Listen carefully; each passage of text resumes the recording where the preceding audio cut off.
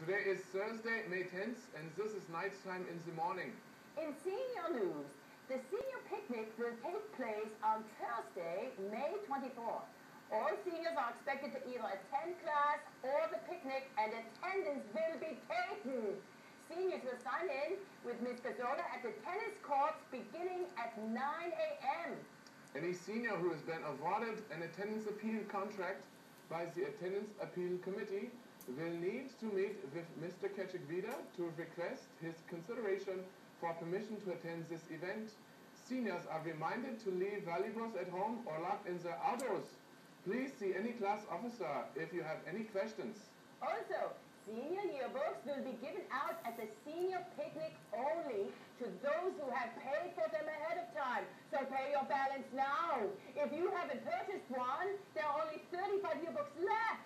So buy it now before they run out. Schnell, schnell. The price is $115 or $115. A representative from Bellis Sposa Bridal Boutique will be in the gym lobby today during lunch blocks. To promote and offer discounts for Tux rentals, be sure to check them out. Any senior who would like to display a piece of Kunst artwork in a senior Kunstausstellung Art must drop-off artwork with Frau In room 235 by tomorrow.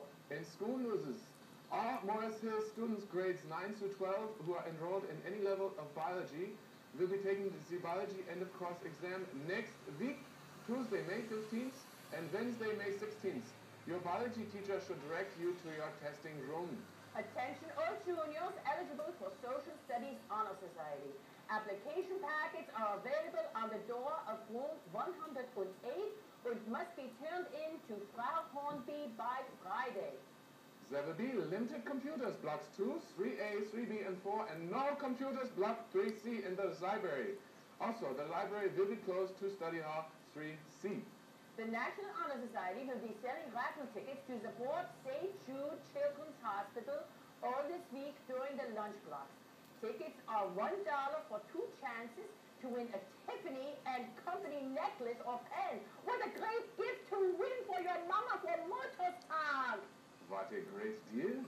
In sports news, congratulations to the varsity girls lacrosse team on its 16-11 thrashing victory over Clifton yesterday. Gabby Peruso led the team offensively with five goals, and Daniel Aini netted three, who also scored her 100th career goal to close out her junior year. Wow! In club news, meeting today is the Erase Club in room 258. There will be a key club meeting to um, Monday in room 222 at 7.40 a.m. and again immediately after school. The Madness Volleyball Tournament is coming! Sign-ups will be held next week in the gym foyer during all lunch blocks. It costs $4 per person to play, and there must be three girls and three boys on the floor at all times. The tournament will be held immediately after school on Thursday, and spectator admission is free. Are you hungry for an after-school snack? Well, you are in luck. FCCLA is selling chocolate-covered pretzels today in the gym foyer. Two for one dollar. Can't beat that. Thank you, Morris Hills. I'm Frau Wagner. Und I'm Herr Berger. Have a dynamic Donnerstag. Woo! Woo!